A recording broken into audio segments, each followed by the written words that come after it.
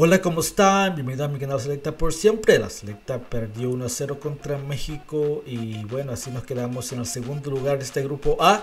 Vamos contra el primer lugar del grupo D, donde está Honduras, Qatar, Panamá y Granada.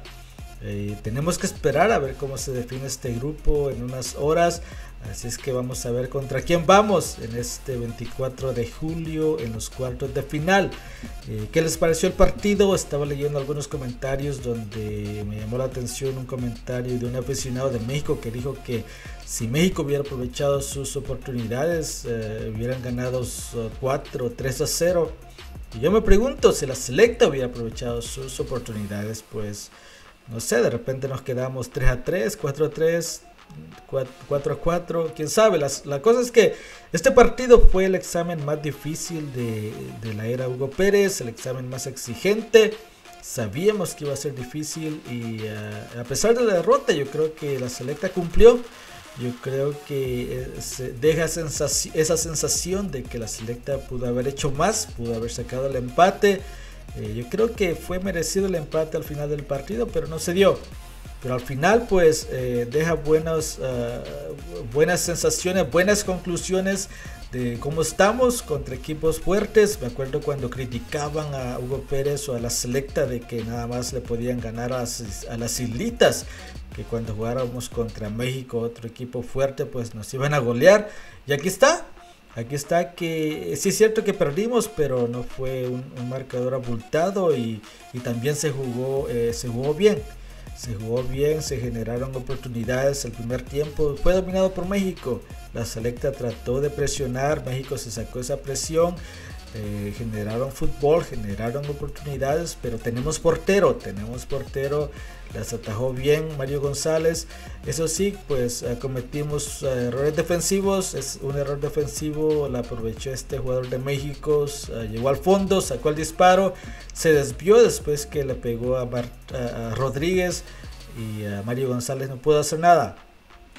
El segundo tiempo salimos a y yo la verdad tenía mis dudas del segundo tiempo, puesto que en el pasado, años anteriores, la selecta trataba de proponer los primeros, eh, el primer tiempo contra equipos fuertes, pero el segundo tiempo ya salían fundidos, ya no, ya no, ya no tenían este, el físico para poder este, competir y, ahí es donde salíamos goleados. Pero esta vez metimos en aprietos a México, los, uh, los relegamos uh, atrás y eh, hicimos que México cometiera errores. En un error defensivo de ellos tuvimos dos oportunidades claras de gol. La primera pues la sacó el portero, en la segunda ocasión Joshua Pérez pues no pudo eh, concretar y estrelló el balón en un defensor de México, pero la selecta trató de, proponer su juego, generó oportunidades, Alex Roldán eh, se combinó muy bien con Joshua Pérez en el segundo tiempo, eh, llegaron al fondo, sacaron centros y, bueno, lo, malo es que no se pudo concretar. Alex Larín, un tiro libre que iba a ser golazo, pero no, no quiso entrar. Eh, Amando Moreno eh, entró y, este, fue un dolor de cabeza para la defensa de México. Walter Martínez tuvo también su oportunidad ya casi al final del partido, pero la salió desviada. Así es que la selecta generó buen fútbol.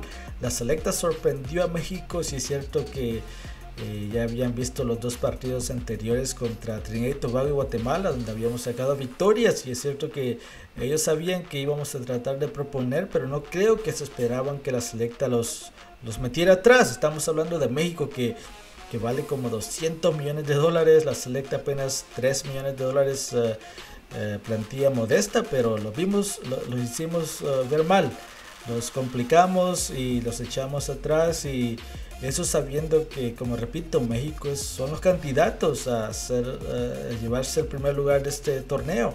Así es que la selecta eh, espera este juego este 24 de julio. Vamos contra ya sea Honduras, eh, Panamá o Qatar. Pues va a ser partido complicado, pero la selecta eh, sigue mejorando, sigue jugando mejor después de cada partido. Es cierto, todavía hay deficiencias, todavía hay bastante que mejorar eh, errores defensivos, imprecisiones, eh, contundencia. Todavía este, hay tiempo, un poquito de tiempo para tratar de ajustar este, esos, esos detalles que pueden hacer la diferencia en un partido. Ojalá que sigamos mejorando porque hace unos un par de meses, 3, 4 meses atrás, eh, era casi imposible pensar que la selecta podría competir eh, para un cupo para llegar al mundial. Y yo creo que con estos partidos pues nos ilusiona nos ilusiona saber que podemos competir contra un gigante como es México. Y este y, lo bueno es que todavía hay, hay eh, espacio para poder mejorar los jugadores están bien comprometidos Uh, los jugadores uh, van creciendo futbolísticamente, mentalmente. Yo creo que eso es lo más importante. Hugo Pérez está haciendo muy buen trabajo. Uh, como repito, vamos contra eh, nuestro rival este 24 de julio. Ojalá que pasemos, ojalá que tengamos más partidos en esta Copa Oro. Y después yo creo que se viene algún amistoso en, agosto.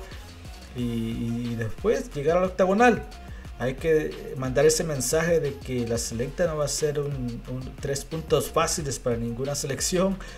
Yo creo que ya después de estos primeros partidos en esta Copa Oro ya todos ya, ya están en eh, ya están conscientes de que la selecta pues eh, va mejorando y que la selecta pues va a ser competitiva. Ojalá que, que, sigamos en este en estos pasos ojalá que sigamos evolucionando y lleguemos bien al octagonal. Qué opinan de este partido qué les pareció qué les gustó qué no les gustó opinen y nos vemos oímos al próximo video. Adiós